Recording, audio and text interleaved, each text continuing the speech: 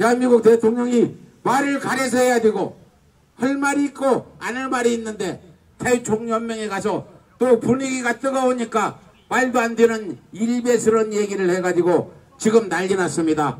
이번 문재인 대통령을 어, 필두로 민주당은 이번 윤석열한테 어떤 조치를 취해야 된다고 봅니다. 문재인 정부를 민주정부를 국가 전복 세력으로 보는데 쉽게 말해서 간첩으로 보는데 문재인 대통령 책방 잠시 접고 서울로 오세요. 같이 집회합시다.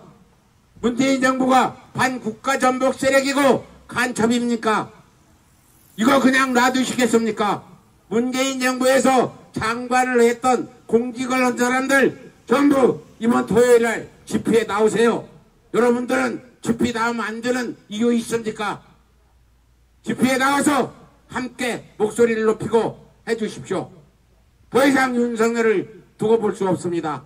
대한민국의 진보를 전부 국가 전복 세력 간첩으로 보는 이 자리를 그냥 놔두실 수 있습니까? 네, 문재인 대통령을 필두로 장관 뭐 이런 공직자들 다 나와가지고 항의하십시오. 잘못했다고 이야기하세요. 불의를 보고 행동하시라고 다시 한번 말씀드리겠습니다.